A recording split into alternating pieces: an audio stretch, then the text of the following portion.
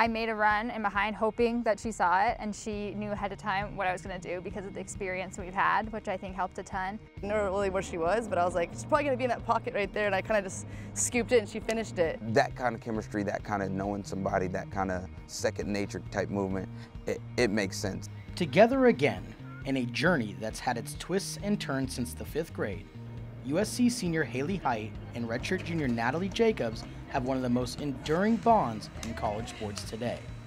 To have those two off the field, I mean, there's an energy, there's a light, there's always laughs, there's always music, there's always uh, Disney. Um, they're both faith-filled people. Um, they're just good people, good energy. They're always looking for another opportunity to hang out, to be around each other, to bring their, their teammates in. Um, they're just fun. The two were close friends in elementary and middle school. Then, Natalie's national team commitments kept them apart on the pitch until senior year at Tesoro High. They were separated in college, Natalie to Notre Dame, where she was an all ACC selection at forward, Hailey to USC playing that same position. But reunited, there is no strife in their relationship. She's just fun to be around. Like she's brought so much like life and joy to the team. Um, and it's like cool that we literally compete for the same spot, but like I'm like cool with it.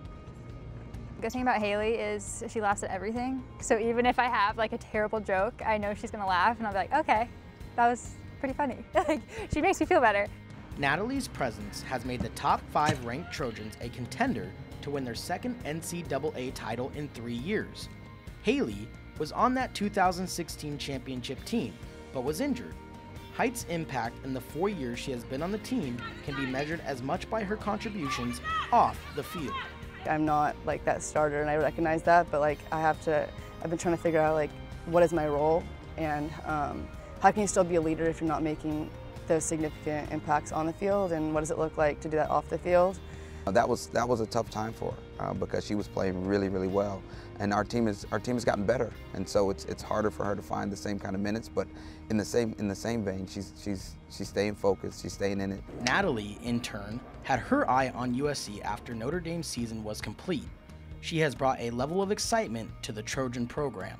You know, when you get transfers, uh, oftentimes they're looking for something new. They're looking for something to um, just really get them you know, re-energized. Not not that it was a bad situation, but you know, changes change can be bad or change can be good. Um, and for her, her energy, her light, her glow, um, it's just good energy. Right at the end, I was trying to figure out what I was going to do after the fall, and I mean, I heard so many great things about this program, and Keidane and Jason and the coach, all the coaching coaching staff, and um, I love the style of play that they played here.